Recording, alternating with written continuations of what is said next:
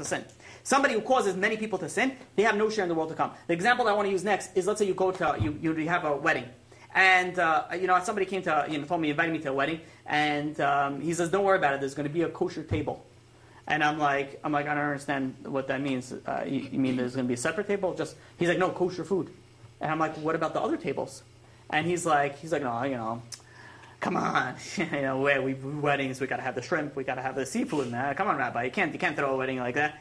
And I'm like, you, are an idiot. You're a fool. What are you doing? You're causing. You're going. You have a non-kosher wedding. You have mixed dancing. You have, uh, um, you know, non-kosher food. You have all these sins that are happening. All thanks to you. Go to the chatan and kala. You come in with a lot of blessing into your marriage. People are so nervous about evil eyes, so nervous about different things. You know, they want to start the marriage right. You know, don't don't step first over the threshold. You know, she has to step first on this and then throw salt over here and do this. They have all this routine that they're going to do. But though everybody's sin. Yeah, why don't you come eat, eat shrimp on me? This idiot, when he all the fake stuff, they'll keep. But the one thing that they need to do, they, they want to, I tell them, I'm like, you want to start your marriage on a good foot? He's like, yeah, absolutely. You want to have good luck in your marriage? I say, yeah, of course.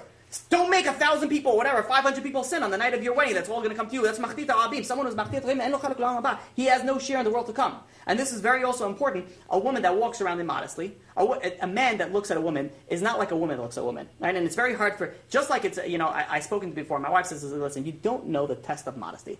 And I'm like, you're right, I don't. Doesn't mean I'm not going to stop speaking about it, but I really don't. And I understand that I, that I don't understand. As a man, I, we can't understand the, the test that a person has of, uh, of modesty. But if somebody walks out in the street and they're immodest, then if somebody else goes and looks at them, a man, and then, you know, eh, a temptation starts arousing, and then one thing leads to another, and then he does whatever sin that he does afterwards.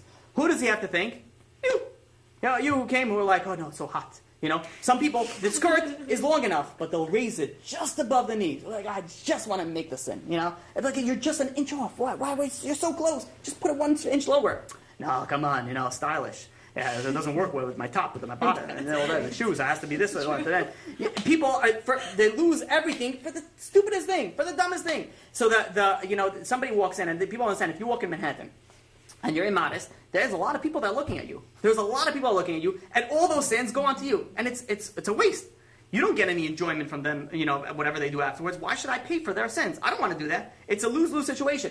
Machti et harabim is a very, very serious sin that I think happens very often. There are a lot of people that, there's so many WhatsApp groups and, and uh, uh, social media, be like, oh, I just saw this great TV show. Check this out, right? And meanwhile, you have like 13 people out there that just binge watch the entire, you know, week and catch up all the seasons until before because it's really an amazing show, right? So they didn't pray, they didn't eat, they didn't do anything, uh, you know, they didn't put on TV, they didn't put on anything. Who do they have to thank afterwards? For you because you got two thumbs up, you got a like on your on your status, whatever it is that, that goes on in the in the social media. For what? Why are you sharing these things? And for men, if let's say they have a you know there's an immodest picture, an immodest thing, that, but it's a funny it's a funny line. Come on, it's a, there's a little caption before and under it, so they go and they send it out to their friends.